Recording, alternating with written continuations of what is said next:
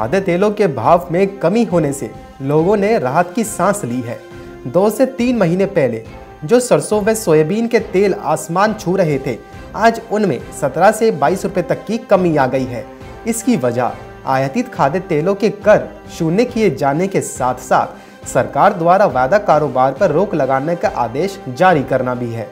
कारोबारियों का कहना है कि आगे और भी तेल के दामों में कमी देखने को मिल सकती है। जिससे लोगों की जेब पर दबाव कम पड़ेगा।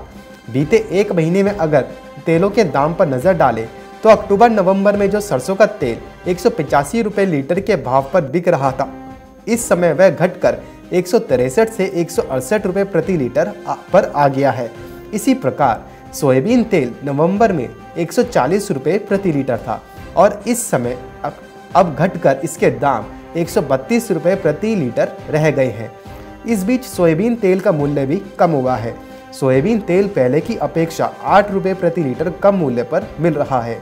सरसों की पैदावार पिछले वर्ष की तुलना में इस साल अच्छी हुई है। निश्चित रूप से आने वाले दिनों में तेलों के दामों में और कमी आएगी। राशन में खाद्य तेल के वितरण से भी सरसों तेल की मांग घटती है। यह भी दाम में गिरावट की एक वजह है। पिछले एक महीने में तेल के भाव में अधिक कमी आई है। Bureau report.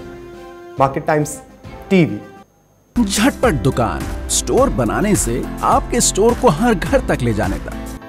Big bless big bless, हर कारोबारी की, खुशियों की चाबी, खुशियों की अपनी दुकान।